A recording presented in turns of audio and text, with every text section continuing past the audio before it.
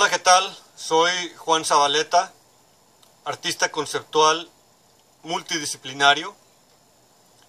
Visiten mi página juanzabaleta.com y visiten también mi canal de YouTube Juan Zabaleta, en el cual muy pronto podrán escuchar hangouts en vivo referentes a mi carrera artística y otros temas concernientes al arte conceptual contemporáneo.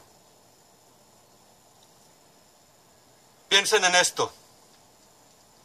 Por fin, de manera muy, vaya, con mucha felicidad, puedo anunciar que el programa de radio Pasiones Latinas, a través de su propio canal de YouTube, Pasiones Latinas Radio, online y revista, ese es el nombre del canal, ha subido ya el programa del jueves pasado. Eh, exactamente el jueves 28 de abril. Y honestamente estoy haciendo este video porque ustedes tienen que ayudarme. Dos cosas. Uno, escuchando el programa, el cual ya vieron que salió la nubecita, que siempre sale, la pestaña, y que aquí en pantalla ya tienen el link para irse a escucharlo ahorita mismo. ¿Y por qué les pido esto?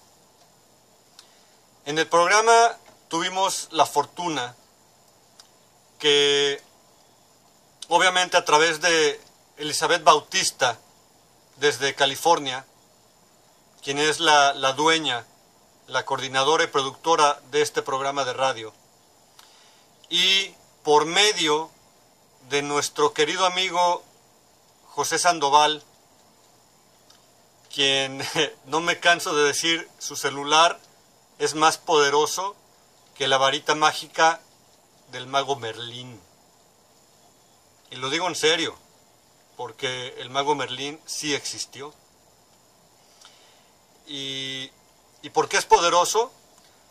Porque es él el que nos ha contactado con gente muy, muy importante a quienes nosotros tenemos el deseo, la obligación y el privilegio de ayudar. Su nombre en esta ocasión, la persona que José Sandoval contactó, es don Antonio Tizapa. ¿Quién es don Antonio Tizapa?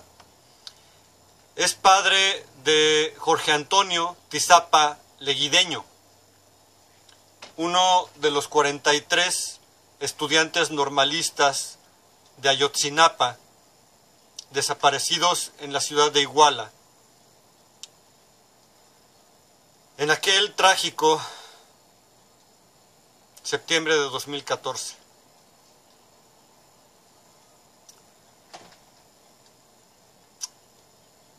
Don Antonio Tizapa es un hombre que se ha convertido en un emblema, en un ícono en un hombre muy poderoso. Realmente en un hombre muy poderoso. Y su poder estiva no en lo que en la sociedad humana de Occidente se conoce como poder, como lo podría ser el supuesto poder que acaparan personajes desgraciados, como el aquel entonces gobernador de Guerrero, que honestamente ni siquiera recuerdo su nombre en este momento, o el actual marrano gobernador de Veracruz, Javier Duarte, al cual le pintamos huevos en este momento, o el mismísimo títere mayor, el presidente de, o el administrador de la Corporación Multinacional México, Enrique Peña Nieto. No, Don Antonio Tizapa es un hombre con poder real, porque a pesar de su pena capital, de su pena mayor, que es el tener a su hijo, Jorge Antonio, desaparecido desde hace casi dos años. A pesar de eso, nos demuestra que tiene una entereza absoluta y ciertamente se ha convertido en el portavoz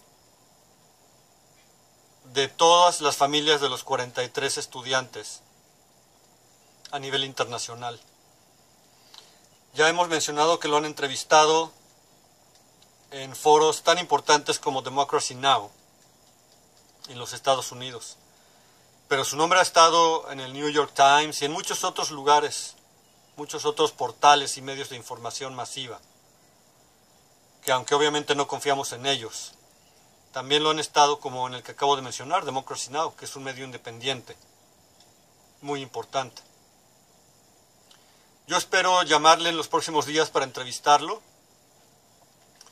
y lograr poner nuestro granito de arena. Pero por lo pronto es bien importante, bien, bien importante que escuchen el programa Pasiones Latinas, en donde casi todo el programa fue dedicado a escucharlo a él y a que nosotros pudiéramos hacerle una o dos preguntas.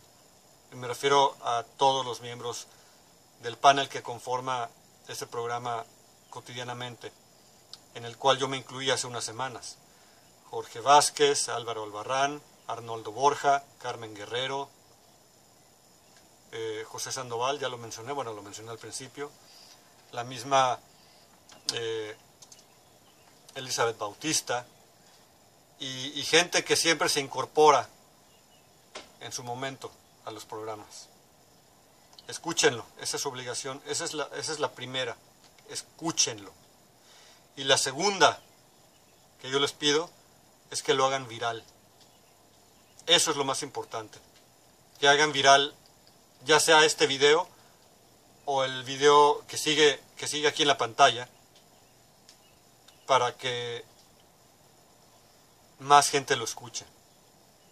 Y que Ayotzinapa, que se ha vuelto ya un ícono, nuestro estandarte de lucha, en lugar de que comience a apagarse, la flama se haga más grande. Háganlo viral.